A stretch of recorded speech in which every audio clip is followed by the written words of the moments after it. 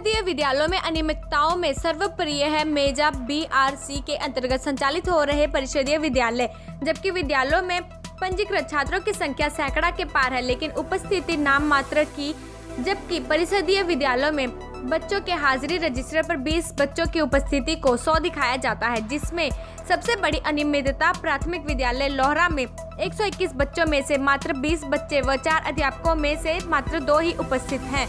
तो वही कोटा प्राथमिक विद्यालय में मात्र दो सहायक अध्यापिकाएँ ही उपस्थित रही, जबकि चार अध्यापक गैर हाजिर ही रहे।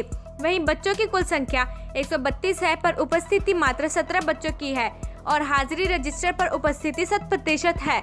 ये बताइए कि आपके यहाँ कुल 132 बच्चों की स्ट्रेंथ है, और प्रेजेंट में केवल 17 बच्चे ऐसा क्यों?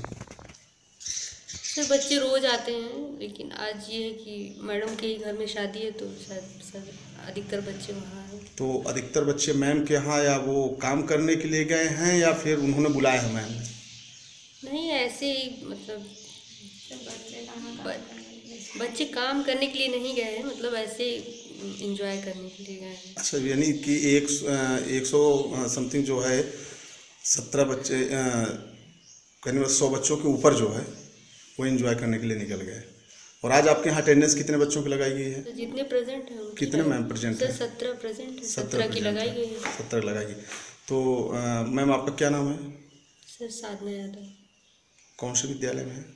प्राथमिक विद्यालय कौहर आप बात किस बात पे हैं? सहायक अध्यापिका? सहायक अध्यापिका। और आपके यहाँ स्टाफ कितने हैं? छः छः स्टाफ हैं। और प्रेजेंट टाइम में आप केवल दो ही स्टाफ हैं यहाँ पर। हाँ लेटेस्ट न्यूज़ देखने के लिए प्राइम ब्रेकिंग न्यूज़ चैनल को सब्सक्राइब करना न भूलें और साथ ही डेली अपडेट्स पाने के लिए बेल आइकन को प्रेस करें।